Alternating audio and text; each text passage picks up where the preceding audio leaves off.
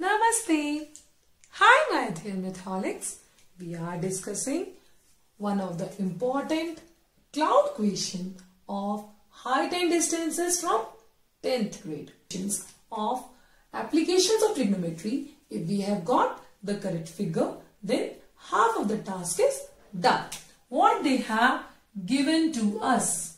There is a water surface and there is above the water and reflection of cloud. Obviously, this reflection will be right below the cloud and distance of the reflection of cloud from surface of water should be same as uh, distance of cloud from surface of water.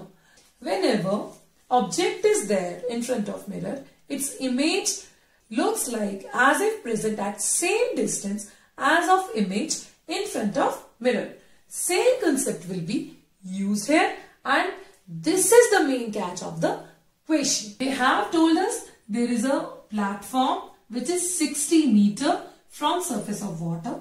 There is a point on a platform from which angle of elevation of cloud is 30 degree and from the same point angle of depression of reflection is 60 degree. Now let me consider a normal. Obviously we know that these angle of elevation and depression is from the normal and obviously this distance which is lying on surface of water. Let the cloud be uh, called E and its reflection be called F. Now if AC is 60, BD is 60. Actually ABCD is, is kind of a rectangle. Since ED and DF has to be same. If I consider DF as H, then EB will be H minus 60. I have got figure. Simply I have to form the equations and try to get value of H from there. In triangle EAB, what is tangent 30? Tangent 30 is EB by AB. Opposite upon adjacent, perpendicular upon base, which is H minus 60 upon AB. Let me consider AB as X. Then CD is also X. Then H minus 60 upon X. Same way in triangle ABF. Tangent 60 is equal to opposite upon adjacent that is BF upon AB. Here what is BF?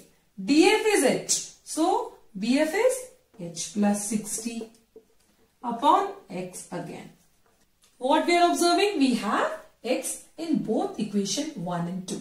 Let us get from equation 1 what is X? X is equal to tangent uh, x is equal to h minus 60 upon tangent 30 which is nothing but 1 by root 3 root 3 into h minus 60 from equation 2 what is x again x is equal to h plus 60 upon root 3.